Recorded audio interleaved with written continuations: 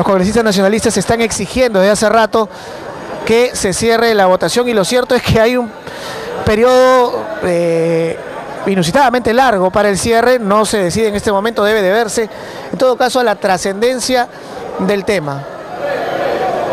Renzo Reyardo se acerca a la mesa del presidente del Congreso.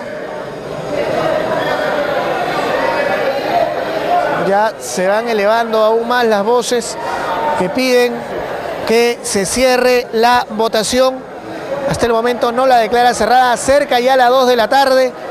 Airados los congresistas nacionalistas, mientras los apristas y los de otra bancada están pidiendo calma. Víctor Andrés García Belaúnde se acerca a la mesa, hace alguna sugerencia que desde aquí no alcanzamos a escuchar, obviamente, no solamente por la distancia, sino por la bulla que hay aquí en eh, este hemiciclo. Si contamos a los 120 congresistas, a los asesores, funcionarios y periodistas, tranquilamente pueden haber unas 250 personas en, esta, en este recinto, hablando todas al mismo tiempo.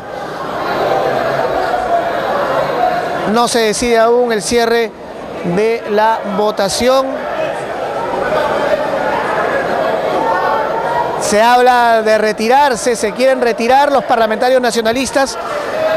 Vamos a ver la bancada nacionalista hablan ya de retirarse del Pleno como medida de protesta debido al excesivo tiempo que ellos consideran se ha dedicado a esta votación. Mucho movimiento, Guido Lombardi conversa con... Eh, se baja César Sumaeta, se está bajando César Sumaeta de la mesa de la presidencia. Al parecer no ha ejercido su voto su maeta, va a hacerlo en este momento. Ejerce su voto César Sumaeta. Vamos a ver qué indica la pizarra. Todavía no indica el voto del presidente del Congreso.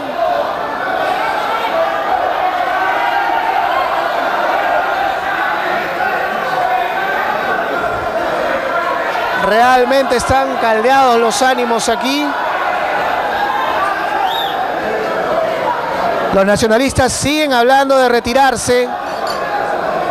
Algunos ya comienzan a moverse de sus curules.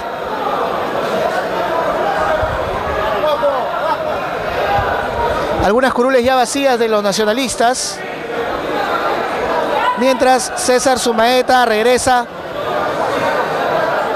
le reclaman airadamente al presidente de la mesa. Raúl Castro sube. Realmente no se esperaba este clima en eh, una elección de la envergadura de la Defensoría del Pueblo Los congresistas le gritan al presidente de la mesa, César Sumaeta. Hay, hay manos ahí, hay manos, ah, hay manos ahí. Un conato de bronca. Esto ya se desordenó, completamente desordenado. Completamente desordenado se suspende la sesión, el presidente del Parlamento descompuesto debido a estas, no lo sabemos cómo calificarlo realmente, no sabemos cómo calificarlo, porque es algo que no se ha visto en la historia del actual Parlamento, una una gresca prácticamente en la mesa propia del Parlamento Nacional por la elección del defensor del pueblo. Y lo más triste del tema es que no sabemos hasta el momento cuántos votos se han generado en favor o en contra.